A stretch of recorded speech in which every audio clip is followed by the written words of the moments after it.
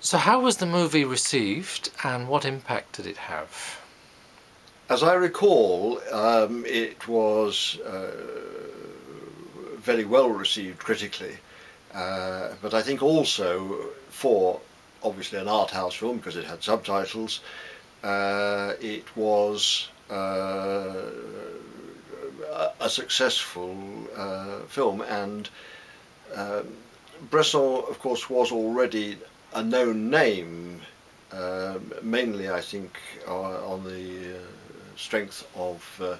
Journal d'un de Campagne which had been his previous film uh, that uh, the British critics were uh, their interest was aroused and uh, so that they were able to uh, acknowledge that he had, had come up with a, a very worthy successor to, to, to, that film. I think also the the public again uh, the ones who went to the art house cinema um, saw that as uh, as their way to see a war film um, without being uh, seen going into an Odeon or, or an ABC cinema. Uh, that's a bit flippant, but uh, I, I, think it was uh, definitely a film that the distributor didn't lose money on. Uh, as to what it did um, in a wider sphere, um, uh, as I think I said earlier, the, uh, the Bresson has exerted a considerable influence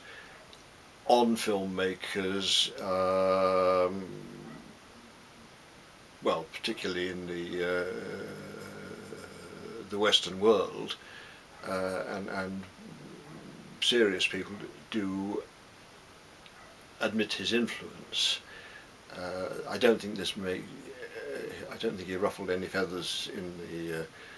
the movie moguls' uh, palaces, um, and I don't think that the, the, the general level of commercial filmmaking took very much from him, uh, but uh, certainly the uh, the people who who were attempting to to make more serious movies uh, ha have taken him on board. Uh, but I don't think that he even had a particular influence in France. I'm sure that uh, uh, Tavernier and, uh,